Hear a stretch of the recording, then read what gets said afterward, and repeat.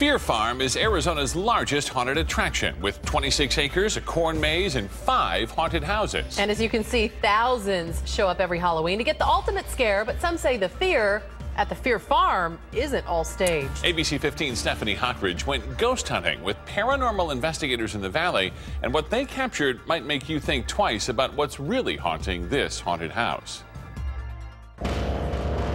Ever had the feeling you're not alone? Unexplainable sounds and unsettling feelings. I don't know what the hell that is. Was it something you just imagined or something more? I don't know how to really explain something like that. But I can tell you this that it did happen. There's a reason Jay Yates believes it's possible to be haunted by the other side. Last time when we were here, we kept seeing shadows passing back and forth. It's called Fear Farm for a reason. It's pretty creepy. It's really creepy. And Chris Sanders, who lives here year round, says the difference with this Phoenix haunted attraction is that it's really haunted. I don't believe it is. I know it is. Cameras are good?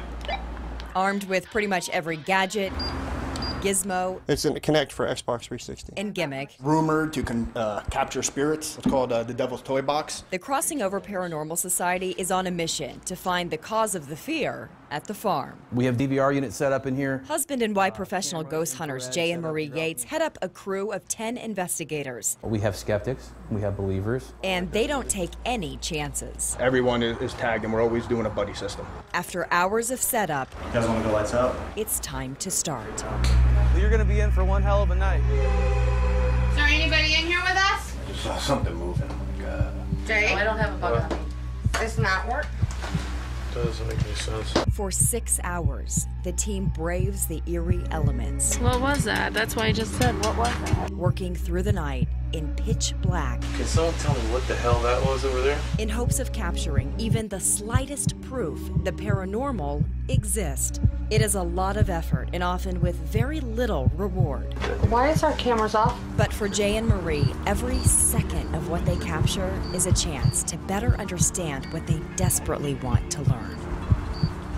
I have an autistic child, um, and he has gone through a lot of tortured nights um, with things being moved in his room, voices. Almost like they're a beacon or a vortex to this type energy. It's the reason their crew investigates all over Arizona for free, We wanted to help out other families that were struggling with the paranormal, especially children. from private family homes to rumored haunted locations. This is probably the best piece of paranormal evidence I've ever captured. Two photographs taken one second apart in the prop room at Fear Farm. And the other photographs before and after, there's nothing here whatsoever. Second picture, boom, disappears. A light, see through object in the middle of the frame, which Jay says appears to be a man hunched over in costume. Without a shadow of a doubt, that's that's paranormal. And the same could be said for this video taken at the same place. And boom, it opens up. That's pretty good evidence. No, yeah, for us. Andy says clear audio evidence is further proof of paranormal activity at Fear Farm. We caught a yes response to a question. Were you upset because one of the guys that are with us was playing with the mannequin?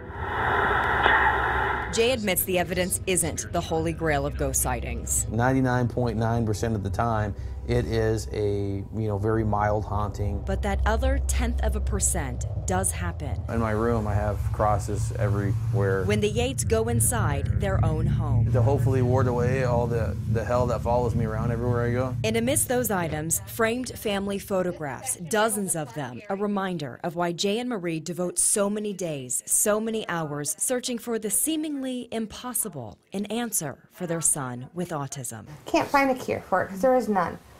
So, in one half of this, I can actually help him in another way, and that's what I do is hopefully help him peacefully sleep. And suddenly you realize He knows that we're out there trying to prove, like, hey, I'm not crazy. this isn't just a fun weekend adventure, it's a search for answers to truly understand the unknown that's haunting the ones they love. Stephanie Hockridge, ABC 15 News. I've gone on these shoots before with ghost hunters, and, and Yeah. sometimes, you know, people go in as non believers, and then the camera starts n- not to work, and things start happening, and you're like, okay. I'd have a tough Got time. my attention. Yeah, because I'd want to walk up one of, behind one of them and go, Scare everybody. Yeah. Oh. Yeah, that'd be kind of fun.